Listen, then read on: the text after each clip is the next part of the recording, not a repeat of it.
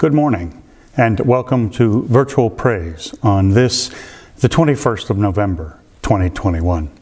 I invite you now to clear your minds and incline your heart as we go together to worship our Lord Jesus Christ.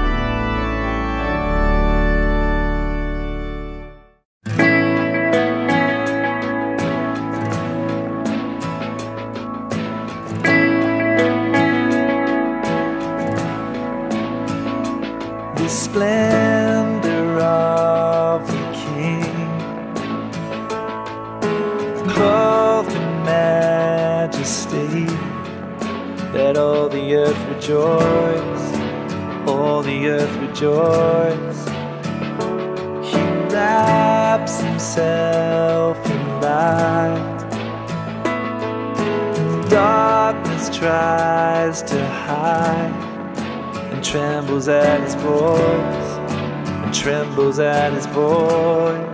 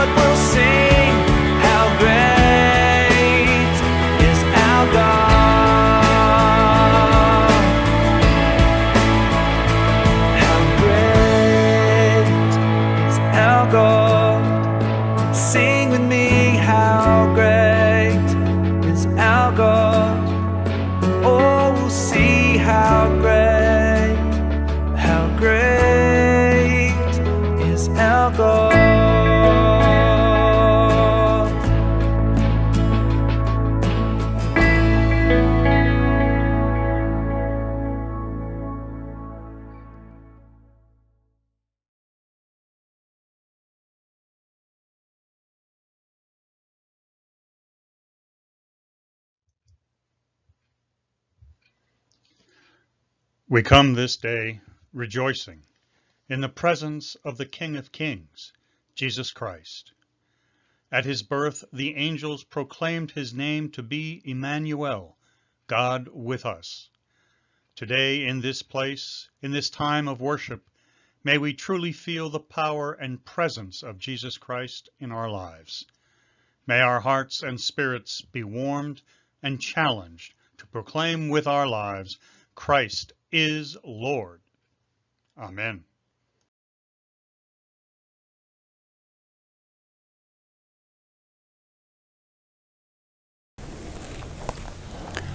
Our gospel lesson this morning comes from St. John's Gospel in the 18th chapter. Pilate then went back inside the palace, summoned Jesus, and asked him, Are you the king of the Jews?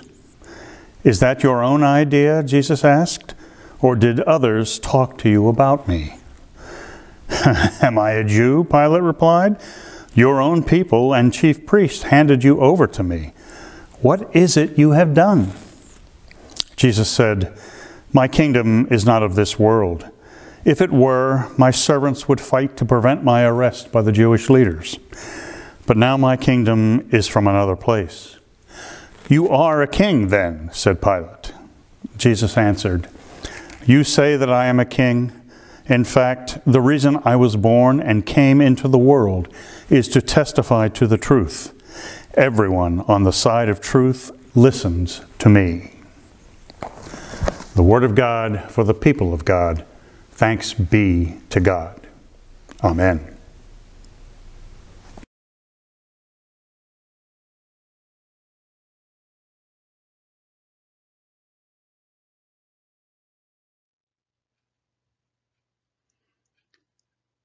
We have trouble believing in a king in our lives.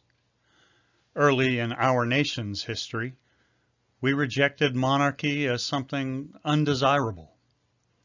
Yet this day we are called to recognize Jesus Christ as the King of our lives, our sovereign ruler. His kingdom is based on the laws of love, loving God as God has truly loved us, and loving our neighbor as we ourselves want to be loved. That love extends beyond the borders of our lives into a world in which there is fear and alienation, hunger and disease, hopelessness and darkness.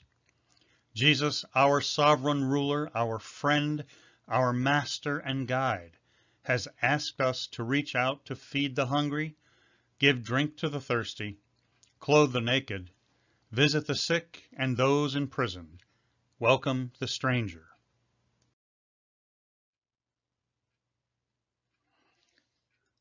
These words are not unfamiliar to us, yet somehow we have treated them as nice words, but not an active part of our life of faith. Forgive us, Lord, for the meagerness of our faith and the weakness of our witness. Rule our lives again with your powerful love, that we might truly be worthy disciples of yours. Help us to find the forgiveness which you have given to us and to do your will. Amen.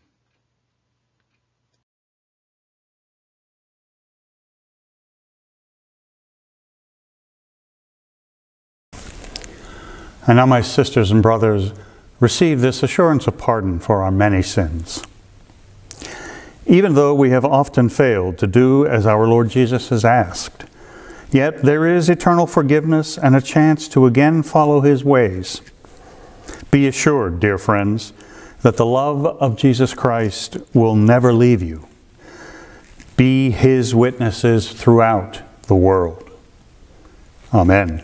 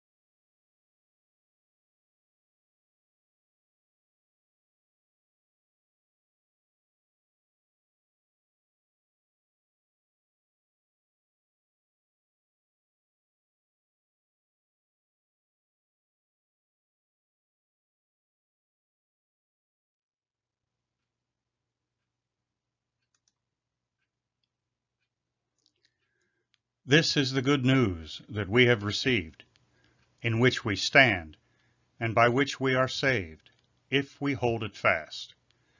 That Christ died for our sins according to the Scriptures, that he was buried, that he was raised on the third day, and that he appeared first to the women, then to Peter, and to the twelve, and then to many faithful witnesses. We believe that Jesus is the Christ, the Son of the living God. Jesus Christ is the first and the last, the beginning and the end. He is our Lord and our God. Amen.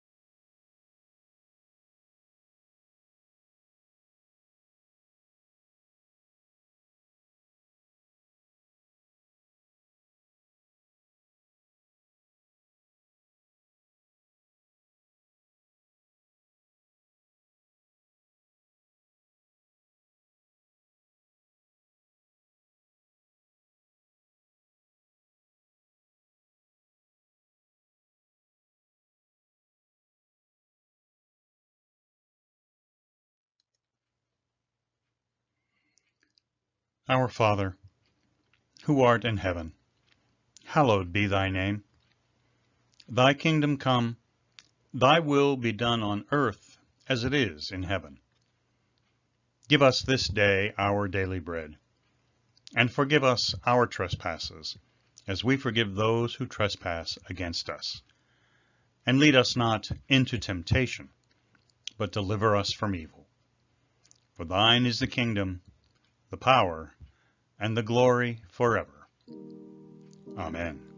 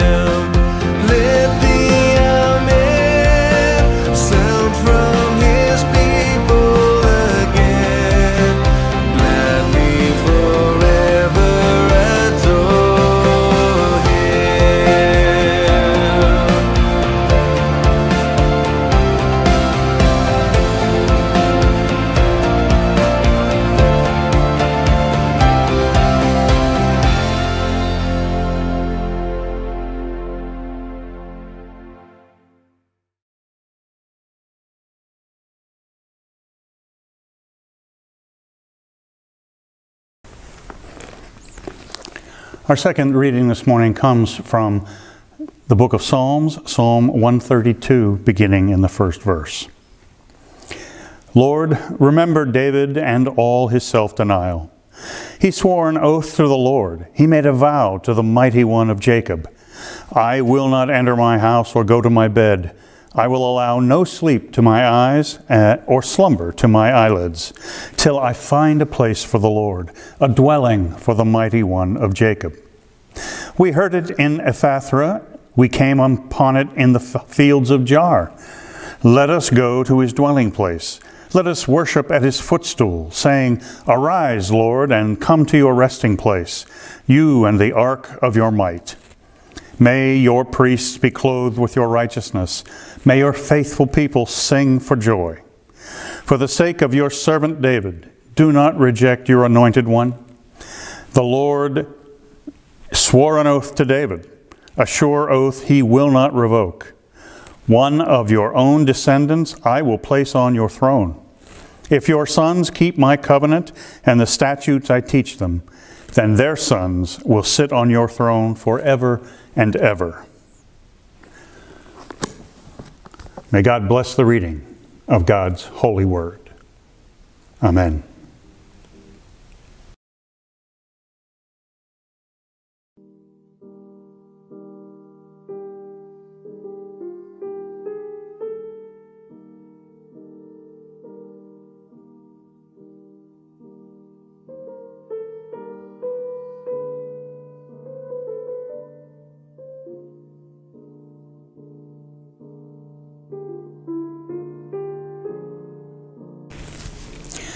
Would you go with me now in prayer?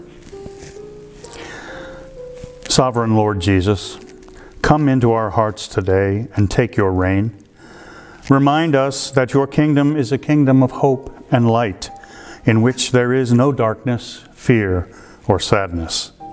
You have called us to be the kingdom people, living our lives in the knowledge that peace, justice, and hope are not only possible, but can actually be the ruling factor of the world for those who follow you. There are many who do not acknowledge your presence and your name, O Lord. But in your infinite love and mercy, you have acknowledged and claimed them. Help us to be the kind of disciples that welcome everyone with the words of kindness, that offer acts of mercy and peace to all in need to proclaim Christ risen and glorified. As we have brought before you, O Lord, the names of people and situations needing your healing and comforting touch, may we also open our hearts for that same healing and comfort. Remind us that we are never out of your grace and mercy. We know that you will give us the strength and wisdom to be true disciples, and we celebrate and honor you now, and forever. Amen.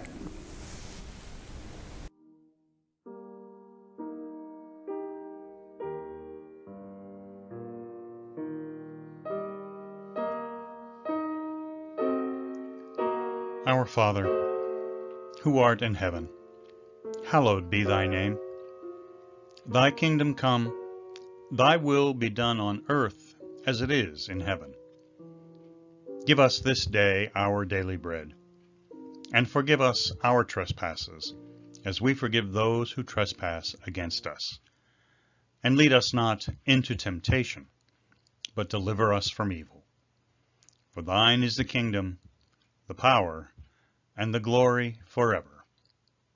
Amen.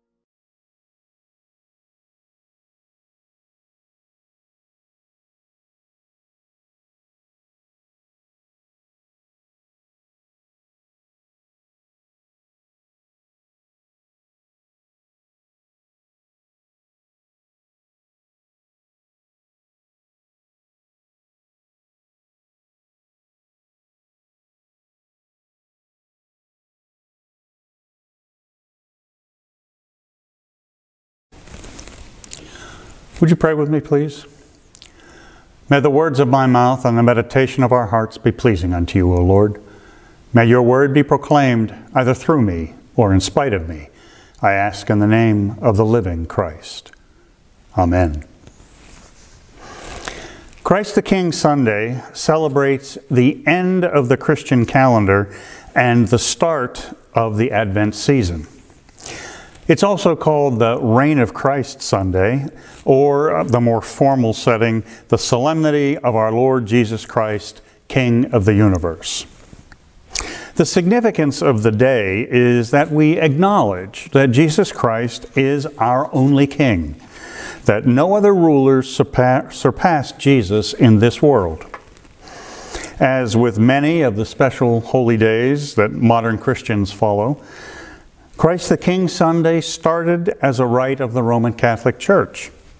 And it only became a holy day in 1926 when it was declared by Pope Pius XI in response to the ravages of the First World War.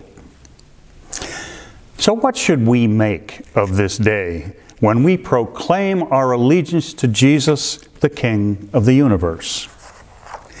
After all, didn't we fight a revolution to break free of a king? How is it that our culture accepts the existence of one and only one king? especially since we are so accustomed to electing our multiple representatives in government.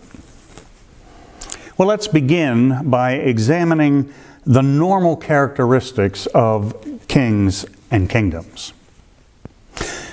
First, let's recognize that kings are typically, but not always, part of a familial lineage of royals.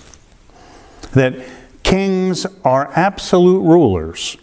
Whatever they say goes.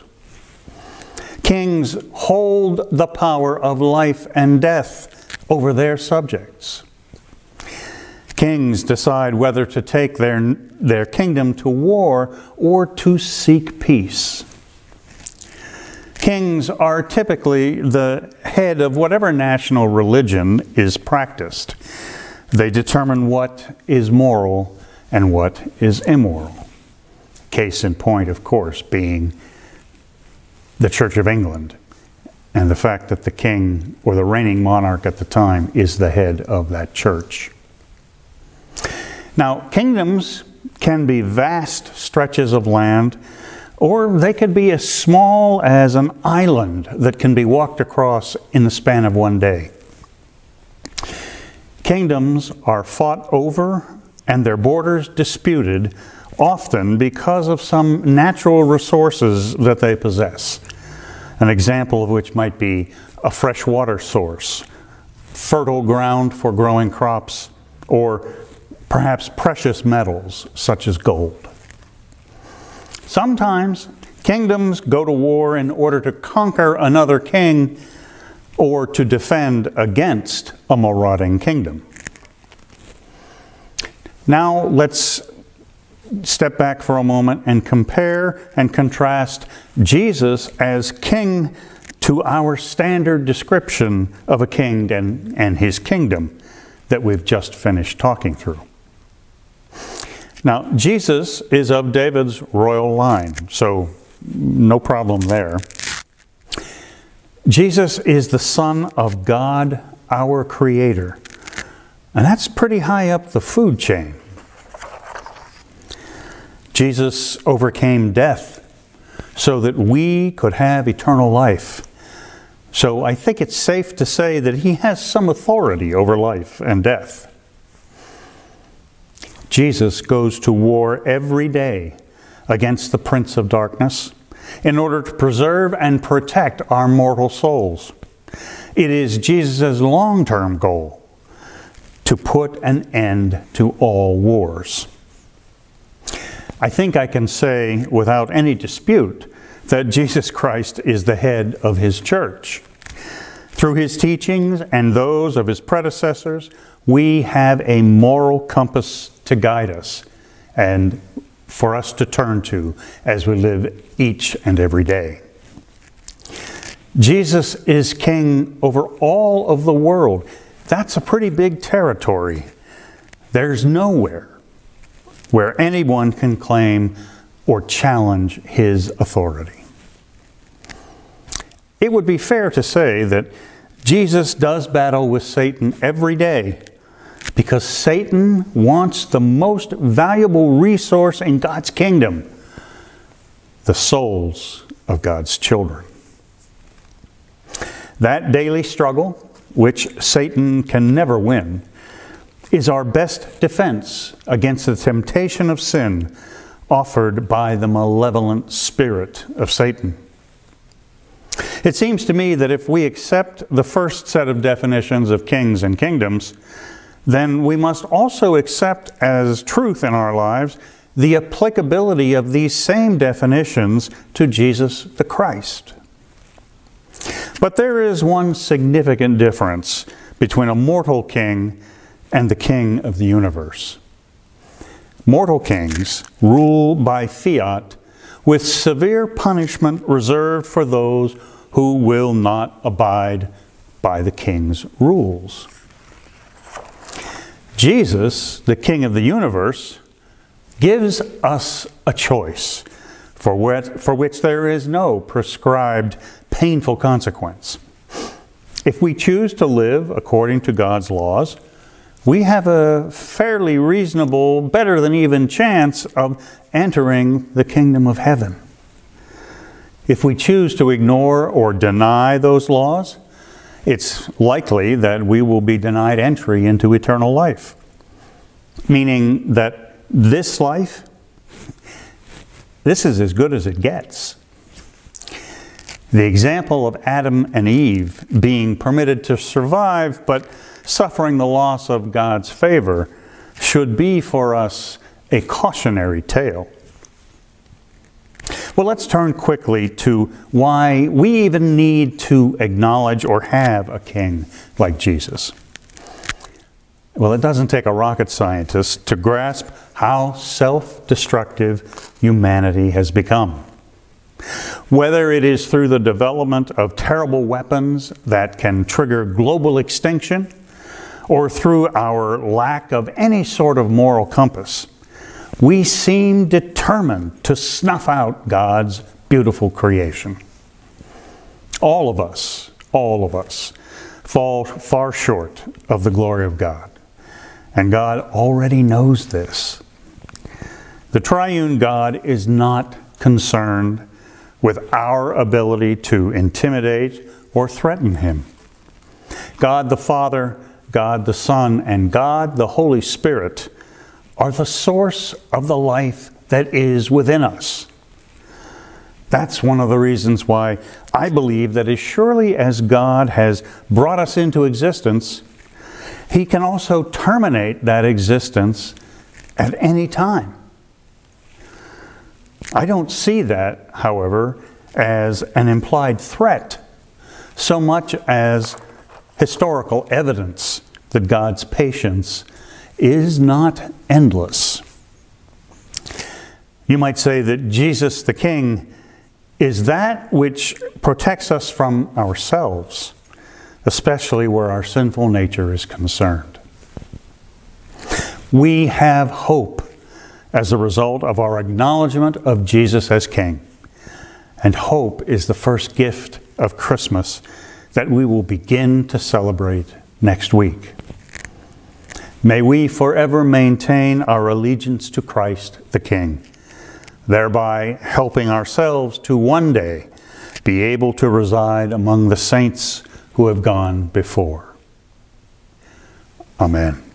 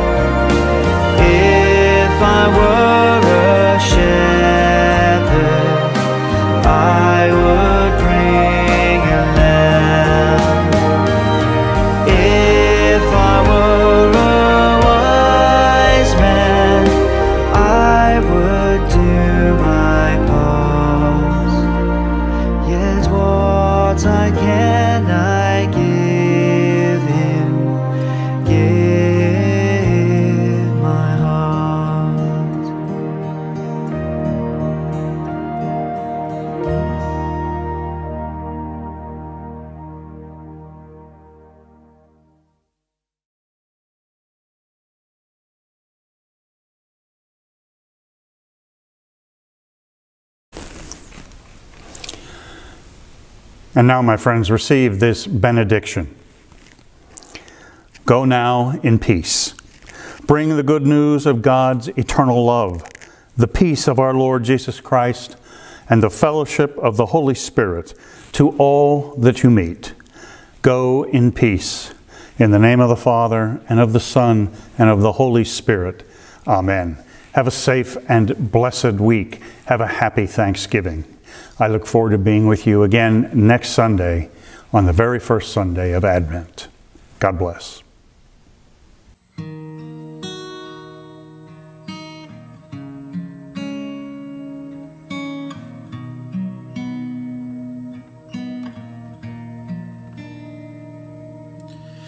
Let our mortal flesh keep silence, and with fear and trembling stand. Ponder nothing earthly minded, for with blessings in his hand, Christ our God to earth descended. Awful